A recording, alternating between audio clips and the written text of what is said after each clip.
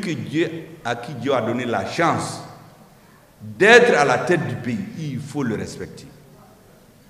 Jusqu'à ce que Dieu en décide autrement. De toute façon, beaucoup pensent que le dessein des présidents et des premiers, c'est dans leurs mains. Mais ils se trompent, c'est dans les mains de Dieu et du peuple. Le jour où Dieu et le peuple en décideront autrement, mais avant ça, il faut les respecter. Il ne faut jamais traîner le président dans la boue. Ça n'a jamais apporté du bonheur. Vous voyez aux États-Unis, un des grands pays, quels que soient les crimes que leurs présidents font, une fois qu'ils quittent, ils les laissent. Ça n'apporte rien. Le fait même de quitter le pouvoir, ça c'est la sanction suprême. Je voudrais aussi dire clairement que ce meeting se tient, bien entendu, avec la bénédiction de Dieu, sous le regard attentif des présidents des pays membres de la Confédération de l'AES. Je voudrais parler du président du Burkina Faso, Ibrahim Traoré, le capitaine, du président de la transition malienne, ce n'est que là le colonel Assimi Goïta, du président de la transition du Niger, le général de brigade Abdraman Chani.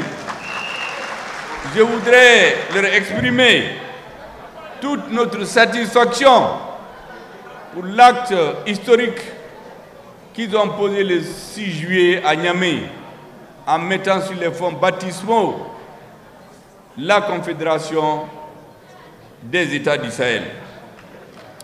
Mesdames et Messieurs, après cette introduction, je voudrais m'arrêter un tout petit peu pour que les uns et les autres comprennent pourquoi ce meeting.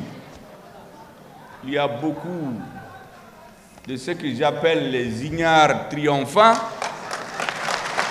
qui sont sortis et d'autres qui ne comprennent rien. Il y a même certains, ce que j'appelle les M5 défroqués, qui sont sortis sans savoir pour donner leur interprétation de pourquoi ce meeting est convoqué. Bien entendu, à ces deux groupes se sont joints aussi ceux que j'appelle les agents doubles, ceux qui sont avec tous les régimes, ceux qui avaient prédit la chute du M5, l'échec, mais le lendemain ils ont changé de veste, ils sont devenus les grands défenseurs de la transition. Nous les connaissons. Hein. Et donc ces messieurs se sont mis à notre place sans attendre à donner leur interprétation de l'objectif de ce meeting. Eh bien, je vais vous dire pourquoi ce meeting a été convoqué par le M5 RFP et toutes les forces réellement acquises au changement. Beaucoup ne sont pas dans cette salle, mais je suis sûr qu'ils nous suivent. Ce meeting d'abord est convoqué pour commémorer le 18 août 2020, le jour de changement de paradigme politique au Mali, le jour de la naissance du changement que nous sommes en train de vivre. Même s'il y a eu des tâtonnements au début, mais le 18 août, personne ne doit l'enterrer. Nous ne permettrons à personne de banaliser le 18 août et faire comme si rien ne s'était passé. C'est donc pour commémorer ce jour où le peuple malien et ses forces armées et de sécurité se sont retrouvés pour redonner confiance au Mali et à l'Afrique. Vous avez vu qu'après, il y a eu le Burkina, il y a eu le Niger, il y a eu l'AES. Je suis convaincu que d'autres suivront. Et donc le point de départ c'est le 18 août. Il ne faut donc pas que nous permettions, sous quelque prétexte que ce soit, sous quelque complexe que ce soit, parce qu'il y en a qui sont complexés, de banaliser cette date. Il y a bien sûr beaucoup de bruit, beaucoup d'idées, beaucoup d'intentions, souvent mauvaises d'ailleurs, par rapport à ce combat. Le troisième objectif, le deuxième dis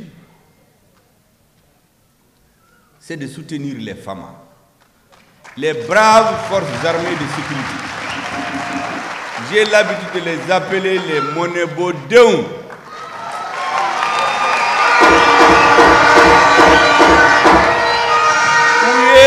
de Boana. Nous étions perdus. Nous avions perdu l'espoir. Nous avions perdu notre pays. Ce sont les femmes au prix du sacrifice ultime qui nous ont restitué notre honneur, qui nous ont redonné la confiance, qui ont redonné confiance à l'Afrique et à tous les progressistes du monde. Aujourd'hui encore, des hommes continuent de tomber. Pendant que nous nous réussissons ici, il y a quelques ignares qui ont dit qu'il faut nier qu'il y ait même des morts. Je pense que si c'était dans un autre pays, on allait les amener au front pour qu'ils comprennent ce qui se passe là-bas. Il ne s'agit pas de nier ce qui se passe, mais de le reconnaître et saluer ceux qui sont restés vivants et les encourager à continuer.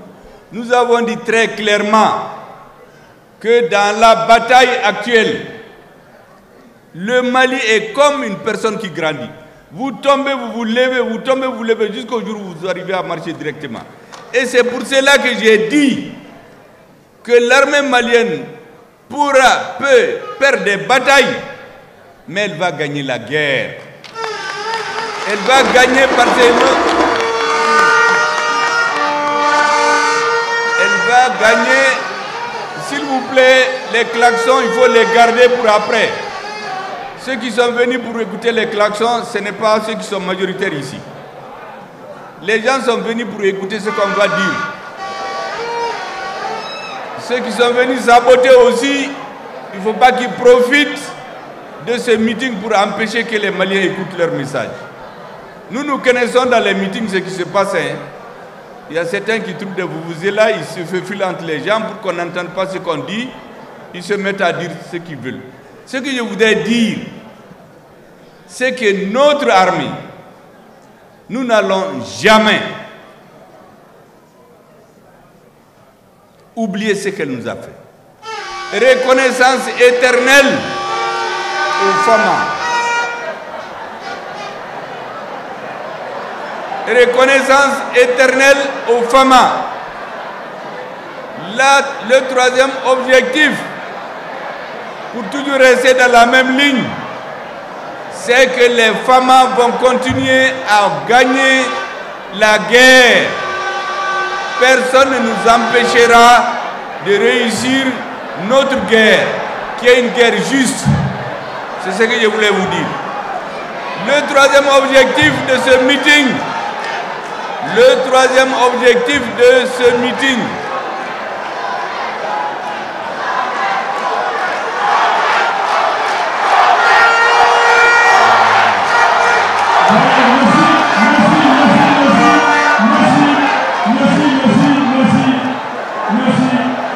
Je crois que vous avez montré à ceux qui sont venus saboter, qui sont venus sur un terrain composé d'hommes et de femmes convaincus je disais donc que le troisième objectif de ce meeting,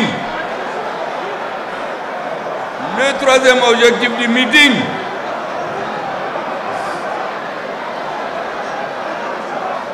c'est de rappeler pour que personne n'oublie les principaux objectifs que le peuple malien a poursuivis pendant des mois de manifestation. Autrement dit, les objectifs du changement. Il y a plusieurs mesures, mais je vais les résumer en cinq. Premièrement, nous avons exigé, le peuple malien a exigé la sécurité. Et aujourd'hui, personne ne peut nier la montée en puissance des forces armées maliennes.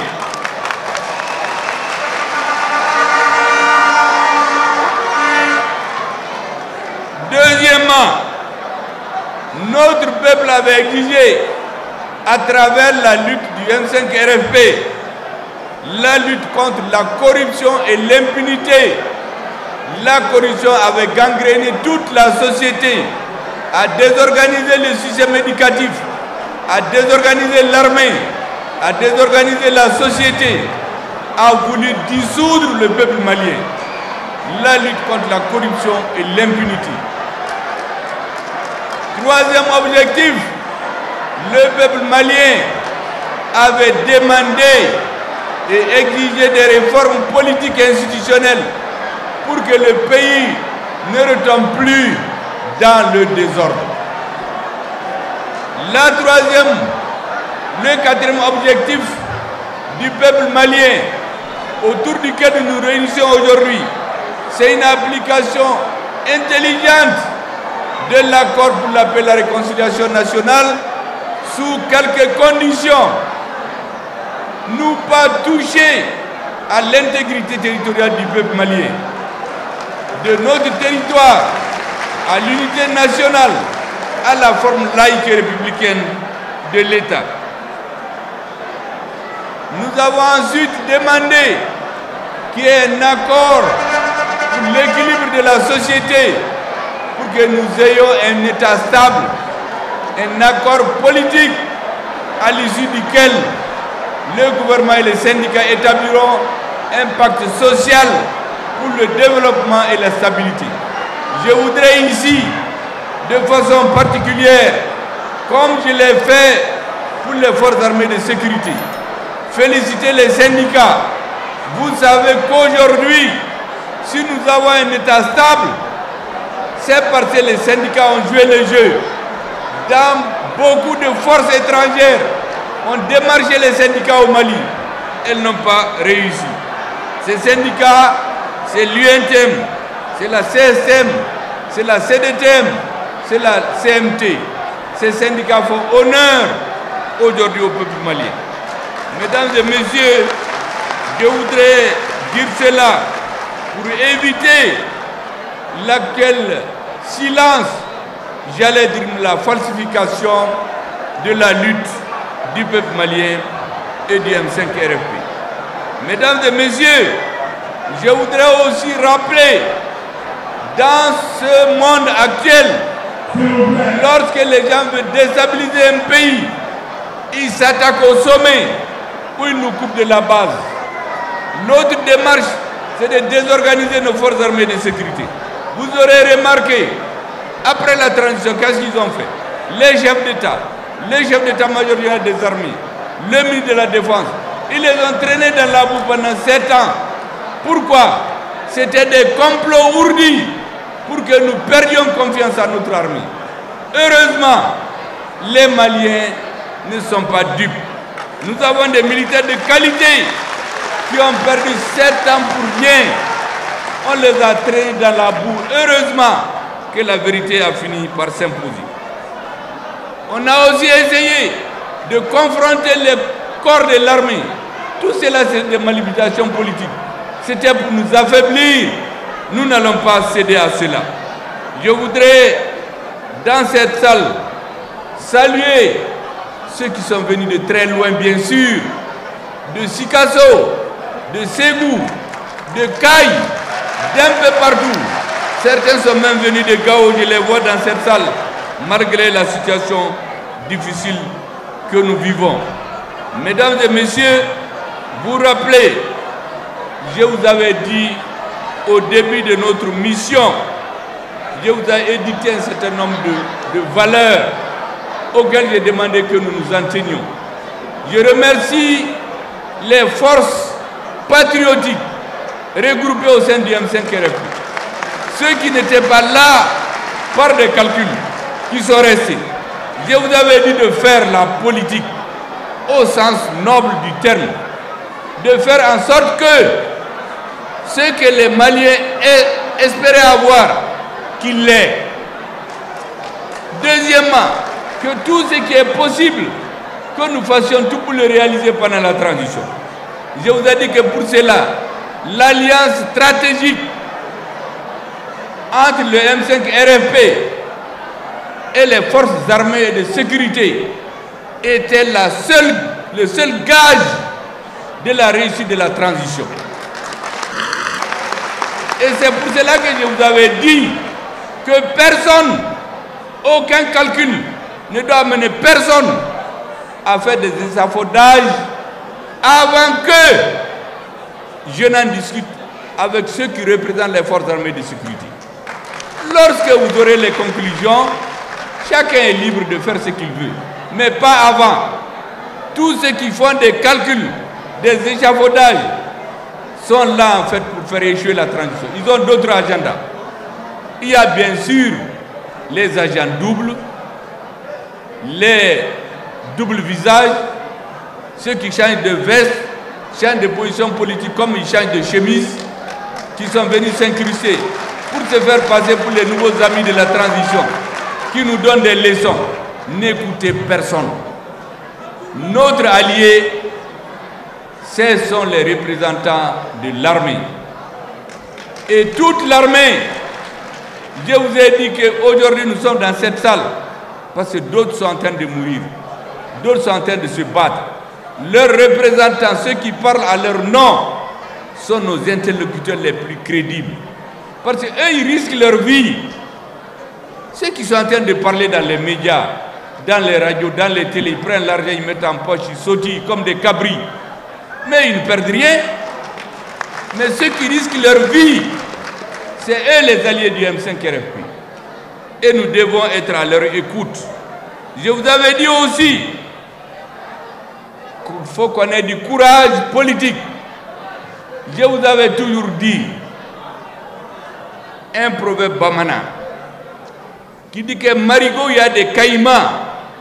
Vous ne pouvez pas les traverser avec le courage d'autrui.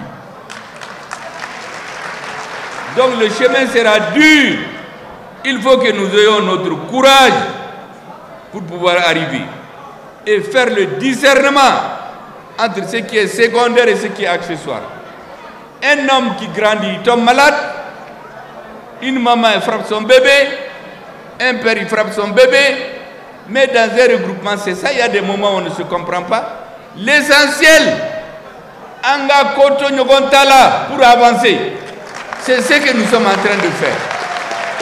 Et nous avons quelques nouveaux amis de la transition qui sortent sur chaque petite contradiction pour faire le buzz et se faire reconnaître par les Maliens. Nous ne sommes pas dupes. Les militaires aussi ne sont pas dupes. Ils laissent chacun sautiller. Vous savez, Amadou Ampateba dit que l'alcool, le pouvoir c'est comme l'alcool. Le premier verre, tout le monde sautille comme cabri. On est très content. Eh bien, ces messieurs-là, ils sautillent comme des cabris. Deuxième verre. Quand je dis ces messieurs, je parle de ceux qui, les faux amis de la transition, qui sautillent dans les médias. C'est tous les Maliens. Deuxième verre, on devient très fort. On est menaçant. On connaît tout. Tout le monde vous suit. Il veut nous amener dans ça. Nous, nous n'allons pas nous tromper. Il faut garder la tête froide, être modeste. Nous n'allons jamais apparaître comme un lion. Parce qu'après cette étape, Amadou Ampateba a dit qu'on devient comme un cochon. On détruit tout ce qu'on a construit.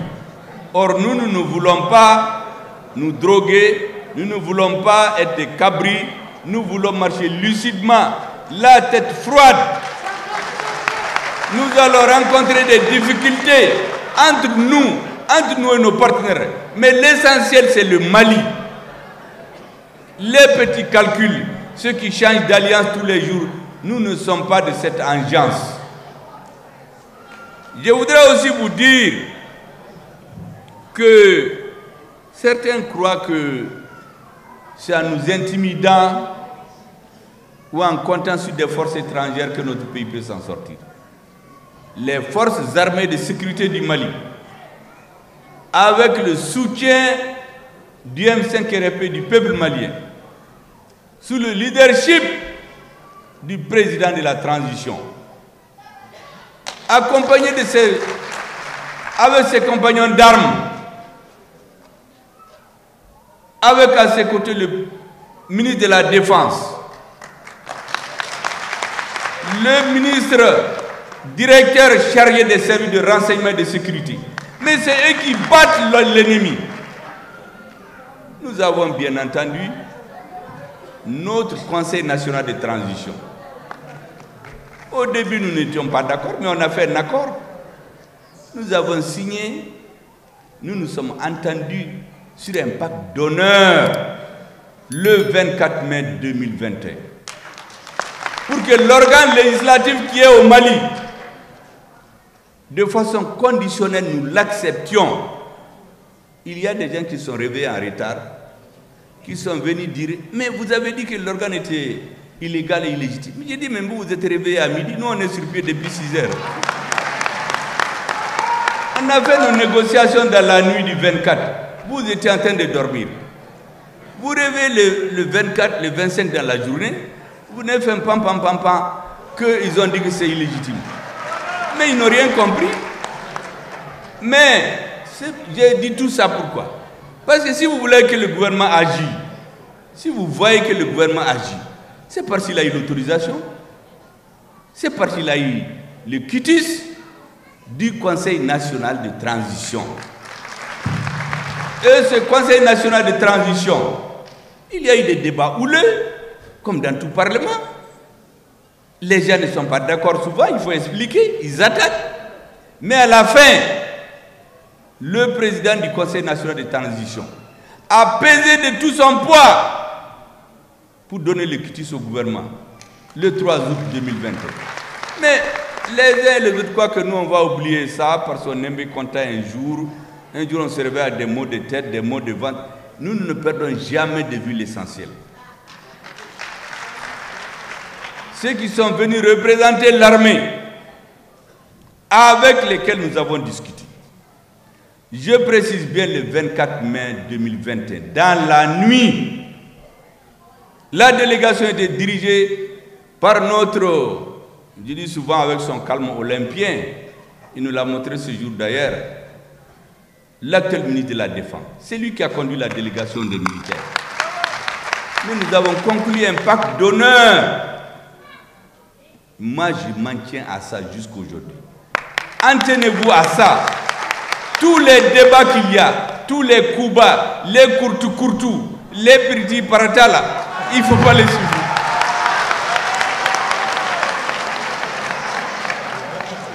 Parce que quand vous voulez atteindre des grands objectifs, il faut faire la part des choses entre ce qui est accessoire et ce qui est secondaire et ce qui est fondamental. Ce qui est fondamental, c'est les résultats que la transition a atteint. Personne ne doute aujourd'hui des résultats dans le domaine de la sécurité.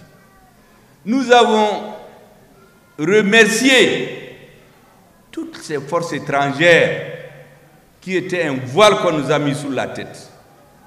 Je crois que certains Maliens, je les entends ces derniers jours, dire oui, il faut négocier avec les terroristes.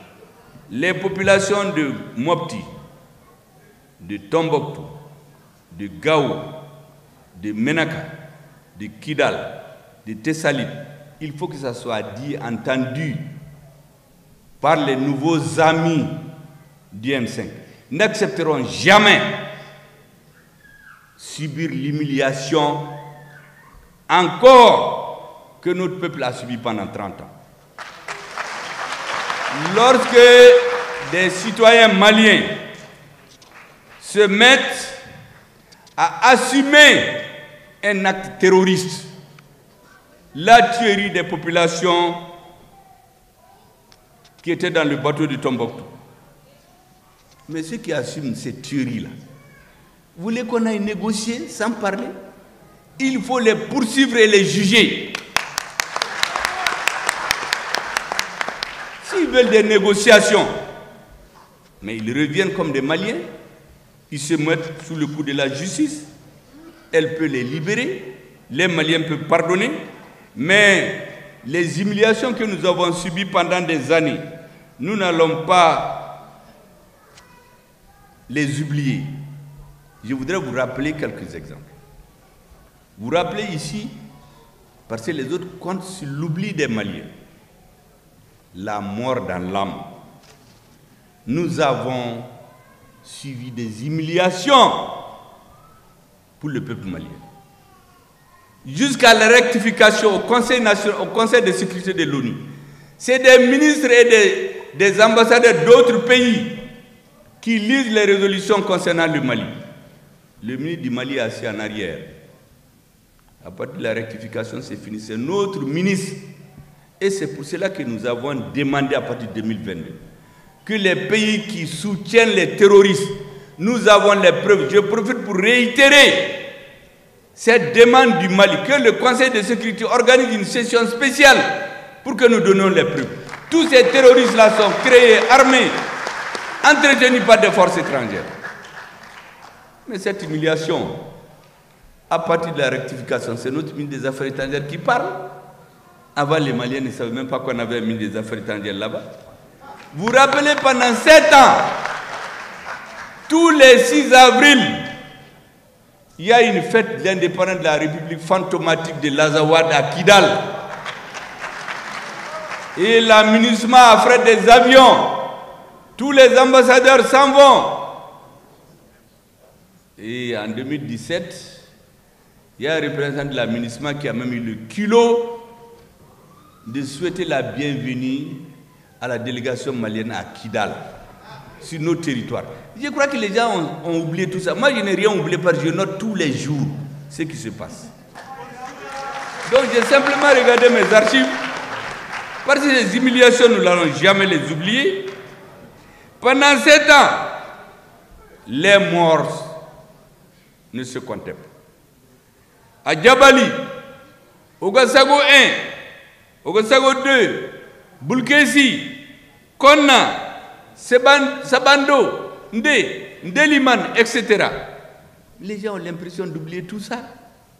Mais tous ceux qui ont organisé ça, vous voulez que sans autre forme de procès, on dit qu'on va négocier? Mais on n'a fait que négocier pendant 30 ans. Ça n'a mené que des morts. Donc quand je vois des gens sautiller dans les médias, ou des has-been politiques venus dans des réunions nous dire Ah, la force seulement ne suffit pas. Est-ce qu'on a besoin d'aller à l'école pour savoir que la force seulement ne suffit pas? Mais un État, c'est la force et le droit. Tant qu'il y a des Maliens qui veulent s'imposer aux autres, il faut que l'armée joue son rôle. Et ce défaitisme qui consiste à commander la paix, nous ne sommes pas preneurs. L'État, c'est le droit. Et la justice malienne est en train de se réorganiser. Elle est en train de traquer les criminels à col blanc, ceux qui tuent. Vous avez vu dans les médias récemment, on a pris des gens avec 600 euh, 000 euros à l'aéroport ici. L'autre jour, c'est un aéroport d'un pays voisin qu'on a pris des gens qui transportaient 500 millions de francs CFA dans des valises.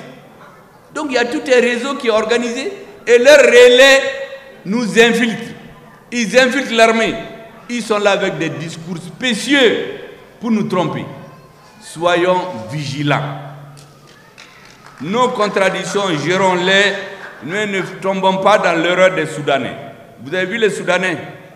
Les autres ont fait plusieurs années pour les diviser. Quand ils ont divisé, ils ont eu le Soudan du Nord. Qu'est-ce qu'ils ont fait? Ils ont fait plus de dix ans pour dire la démocratie, la démocratie. Après, on a trouvé des femmes, des jeunes, des intellectuels qui se sont mis dans la rue. Démocratie, démocratie, démocratie. Et puis certains militaires ont suivi cette chanson. Ils ont renversé le régime. L'étape suivante, c'est ce que certains sont en train de faire ici.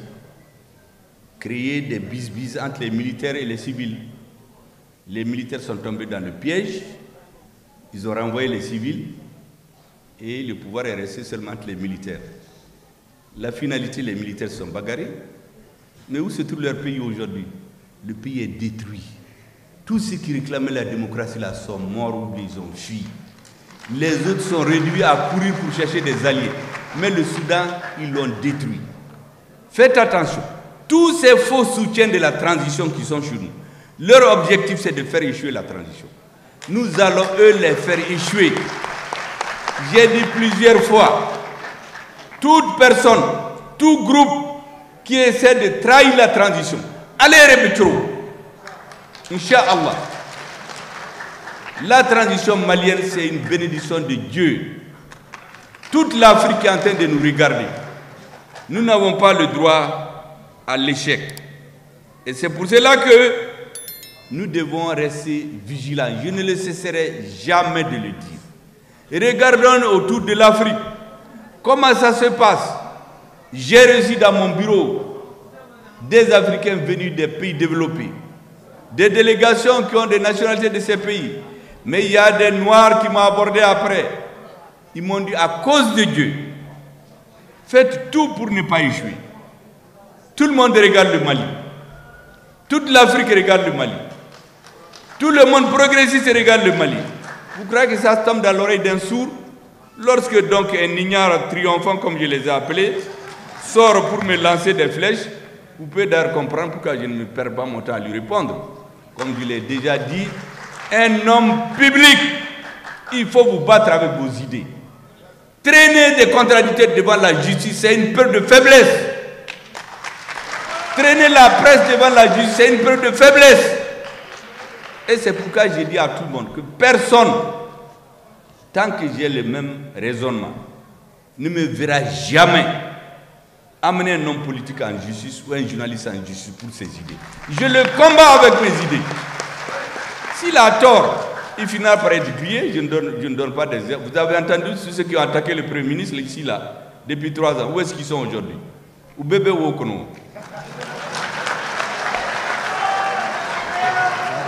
ou bien certains se sont tués ou sont portés disparus de la scène politique.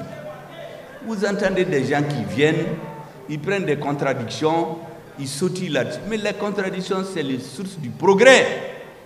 Dans un groupe, s'il n'y a pas de contradiction, il n'y a pas de progrès. Mais Abdelkader Mega que vous voyez, et Bouba Traoré, ceux qui sont dans le M5 le savent, au début du M5, mais je ne m'entendais pas avec eux. Et Abdelkader, c'est un homme direct, il m'a dit, je ne suis pas d'accord avec vous. J'ai dit, petit frère, viens à la maison, on va échanger. Quand on a échangé, c'est un homme de bonne foi. Il dit, bon, je vais, remarquer. Mais Bouba que vous voyez là, mais au début, même quand je parlais, Bouba ne voulait même pas entendre au M5. Jusqu'au jour où le M5 est fait rencontrer le président de la République. Et j'ai parlé ce jour au nom des forces regroupés au sein du M5. Quand je suis sorti, Bouba m'a pris par la main. Il dit Dogo, Bikonin Soniye. C'est à partir de ce jour qu'on a commencé à se comprendre. Moi, j'aime les hommes entiers. Mais s'il y avait des ignares triomphants là-bas, ils allaient me dire ah, attention, hein, Bouba là, il ne t'aime pas, Kader là, il ne t'aime pas. Un jour, au sorti d'une réunion du M5, quelqu'un m'a abordé ah, qu'il a, il a surpris des gens en train de mal parler de moi. Donc il faut se méfier. J'ai dit, mais attention, mais ta femme et tes enfants. Est-ce que souvent ils ne te cassent pas les sucres sur le dos quand tu n'es pas à la maison? Parce que les enfants veulent des beaux habits, toi tu n'as pas l'argent. Ou bien madame veut aller à une cérémonie, tu n'en as. Mais ils te frappent, est-ce que ça veut dire qu'ils ne t'aiment pas? J'ai dit, mais c'est leur avis. Il faut gérer les contradictions entre les hommes. La société politique n'est pas une caserne. Et d'ailleurs, tous les gens que vous voyez trop polis pour être honnêtes, d'après Modibo Kita, quand vous voyez quelqu'un qui est d'accord avec tout là, c'est un traître. Le président Modibo Kita les a appelés, il dit trop poli pour être honnête. Et moi, j'ai suivi, je vous assure, pour éviter qu'on se trompe, j'ai pris chaque président qui a eu la chance de diriger le Mali. Je peux me tromper. J'ai regardé son parcours. Où est-ce qu'il a réussi? Quels étaient ses atouts? Où est-ce qu'il a échoué? Quelles sont les erreurs que nous ne devons pas faire Tous les présidents, Modibo, avant lui, Philidabo Sissoko, Mamadou Konate, Modibo Kita, Moussa Traoré, Amadou Toumani Touré, Amadou Aya Sanogo, John Kunda Traoré, Ibrahim Bokar Keita, Assimi Gouita. Je regarde tous ces présidents. Et tous les matins, je prie Dieu de ne pas m'amener à commettre une erreur fatale. Parce que nous avons une obligation politique, historique dans cette affaire de M5. Nos partenaires militaires, c'est la chance du Mali. Parce que je ne suis pas sûr que dans l'espace politique, c'était facile de trouver des jeunes de 30, 40, 50 ans qui ont une conscience patriotique élevée. Et donc s'ils franchissent quelque part, nous devons accepter, nous devons encaisser. Parce qu'ils sont le produit de leur âge. Je suis sûr qu'il y a certaines choses qu'ils font aujourd'hui. Quand ils auront 60 ans, ils ne vont pas les faire. Et donc, quand je vois que quelque chose ne va pas, je me dis, ah, il faut encaisser. Il faut accepter. Pour qu'on avance. Certains souhaitaient que ça, ça n'arrive pas. Dès le début de la transition, certains voulaient qu'on transforme le M5 en refait en un mouvement d'opposition aux militaires. J'ai dit non. Bora. À la veille de l'embargo, ils sont venus démarcher les jeunes du M5 pour dire que quand il y aura l'embargo, le régime va tomber. Il n'y aura rien. Bora. Il y en a qui ont dit aux jeunes, le pouvoir ne dépasserait pas trois mois.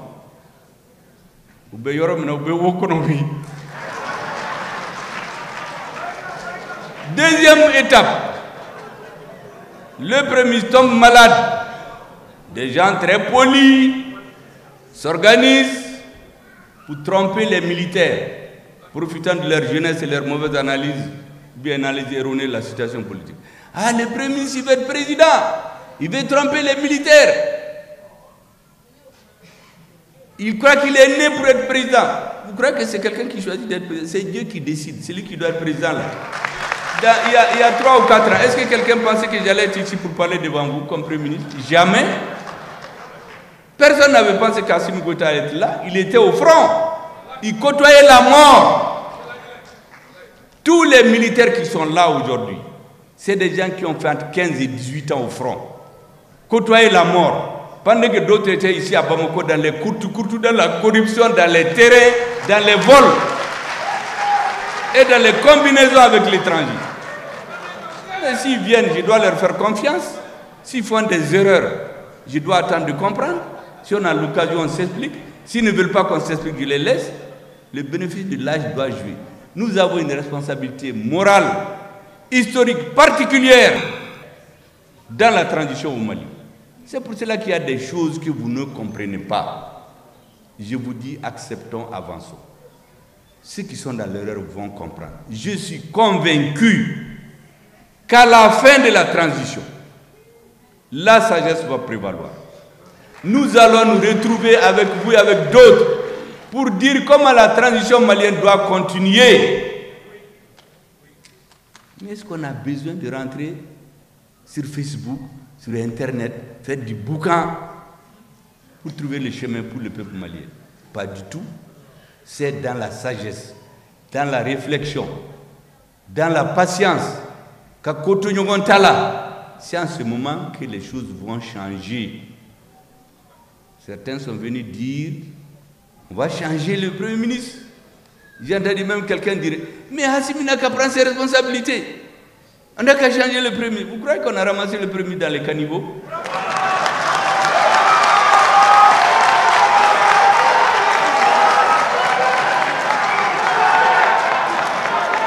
Croyez que Assimi Goïta a usurpé son pouvoir?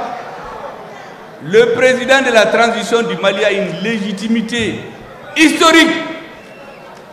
Parce que c'est les militaires, ceux qui ont parlé au nom des militaires qui l'ont choisi. C'est à eux de dire s'il est bon ou non. Pour l'instant, nous on est contents de son travail, mais de quoi on va se mêler? Et de quoi ces ignares triomphants là vont se mêler sur le, sur le choix du Premier ministre? C'est eux qui l'ont choisi mais un, le président était le produit d'un double consensus. Légitimité historique, les militaires étaient d'accord sur lui. Le M5 a accepté. Donc c'est le président. Le Premier ministre, c'est la même chose. On n'a pas été avec un filet chercher dans les caniveaux ou bien dans le fleuve Niger pour trouver quelqu'un. Mais il est le produit d'un double consensus. Mais quand ce consensus existe, pourquoi un énergumène va aller dans les médias? Ah, mais Assimi, quand est-ce qu'il a n'a qu'à prendre ses responsabilités Mais toi, tu n'en as même pas. Tu demandes à Assimi de prendre. Tu n'as même pas de responsabilité. Donc je voulais vous dire que nous, nous avons une tête claire. Tout ce que je vous demande, c'est la confiance. Je vais tout faire pour ne jamais décevoir votre confiance. Et si quelque chose ne va pas, il vaut mieux me le dire. Il y a des gens qui ont été en détention ici, mais avant qu'on les arrête, moi je les ai appelés pour leur dire avec quoi je n'étais pas. Je n'étais pas d'accord, mais on dit ailleurs, oui, c'est le premier qui a dit de dire. Je ne me mêle pas de ça. Je respecte tous les cadres. Parce que je sais qu'in fine, il y a Dieu qui est avec cette transition. Personne, je dis bien,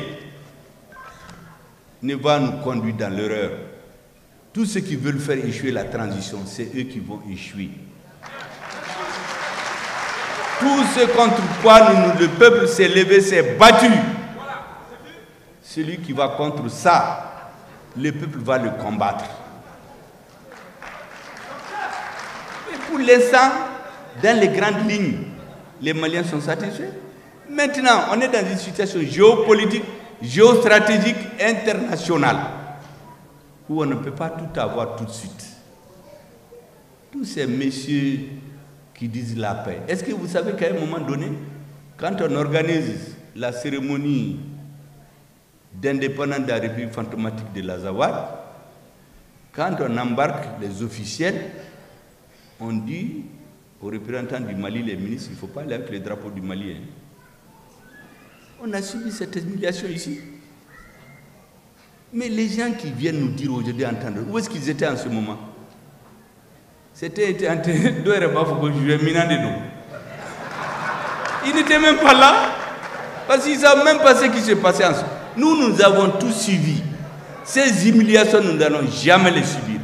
Les ministres passaient la journée à l'aéroport pour avoir un avion. Le soir, on leur dit de retourner. Aujourd'hui, quand un ministre voyage, quand c'est nécessaire, c'est les femmes qui le transportent. Il y a des parties du territoire où nous ne pouvons pas aller. Aujourd'hui, il n'y a aucune partie du territoire où nous ne pouvons pas aller.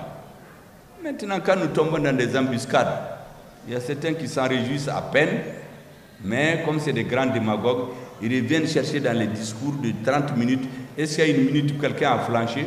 On prend ça, on zoome ça, et puis on sort. Méfiez-vous de ces genre de gens. C'est ce qu'on appelle la troisième colonne. Ils sont plus dangereux que si vous combattez à visage découvert. Ils vous approchent, ils font semblant d'être avec vous. Et demain, qui Dieu nous engage, si le régime change, c'est les premiers à les fêter avec le nouveau régime. Je voudrais vous remercier encore de la confiance que vous portez au gouvernement de transition, du soutien au gouvernement de transition. J'ai toujours dit qu'il y a un certain nombre de choses qui ne doivent pas être négociables. La patrie au-dessus de tout. Je suis de gauche, de droite, de tel parti, partisan de ATT, de IBK, de Moussa Traoré, de, Modibo Tout ça, c'est des discours. La patrie. Il ne faut jamais que nous clignotons à droite et virer à gauche. Parce que certains font, ou certains veulent faire. Clignoter à droite, mais ils virent à gauche. Quand le peuple va se rendre compte que vous l'avez trompé, il va vous rattraper. Deuxième chose, il faut aimer, soutenir et sacraliser les forces armées de sécurité. Un État sans armée n'existe pas. Historiquement, tous les États qui se sont fondés, c'est sur le modèle militaire. Quand un chef d'État affaiblit l'armée, il est là pour détruire. Troisième chose, dites toujours la vérité. Ne mentez jamais. Parce que si vous mentez, ça va vous rattraper. Il y en a, vous savez, on sort leur vidéo, il a dit ça aujourd'hui, voici ce qu'il a dit hier. Allez-y prendre mes vidéos depuis plus de 30 ans. Vous n'allez pas voir les contradictions là-dedans. Parce que j'essaie de ne pas mentir. Tout ce que j'ai dit, j'essaie d'avoir les preuves. Si je n'ai pas les preuves, je n'en parle pas. Donc, et enfin, celui que à qui Dieu a donné la chance d'être à la tête du pays, il faut le respecter. Jusqu'à ce que Dieu en décide autrement. De toute façon, beaucoup pensent que le destin des présidents et des premiers, c'est dans leurs mains. Mais ils se trompent, c'est dans les mains de Dieu et du peuple. Le jour où Dieu et le peuple en décideront autrement, mais avant ça, il faut les respecter. Il ne faut jamais traîner le président dans la boue. Ça n'a jamais apporté du bonheur. Vous voyez aux États-Unis, un des grands pays, quels que soient les crimes que leurs présidents font, une fois qu'ils quittent, ils les laissent. Ça n'apporte rien. Le fait même de quitter le pouvoir, ça c'est la sanction suprême. Voici les conseils que je voulais vous donner.